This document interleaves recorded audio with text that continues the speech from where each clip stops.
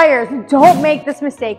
If you are thinking about entering the market to purchase a home, don't miss this crucial process. Hi, I'm Allison Mireau, broker owner founder of Real Connect Realty.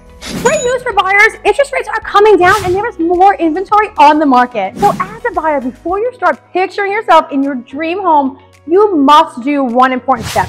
Meet with your trusted lender, please. While affordability is still tight in some markets, Meeting with a lender to get pre-approved will put you in a better position as a buyer.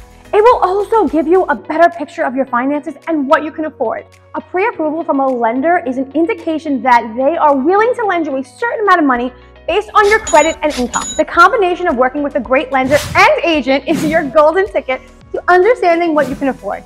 This way, we can stick to your strategic budget and not fall in love with a house that we can't afford. It also puts you in a better negotiating position with the sellers as they know that you are a serious buyer who's already undergone a credit and financial check. So before you go out and start shopping, be sure to meet with a trusted lender and agent for the pre-approval process. It will save you time, stress, and a lot of headaches knowing what you can actually afford versus what you cannot. If you would like more housing market information for your area, please feel free to contact me and my team. Let us help you with your next strategic move to home ownership. My name is Allison Mireau, broker owner and founder of Real Connect Realty, where we're all about creating seamless connections in real estate tailored just for you. Stay informed and stay connected.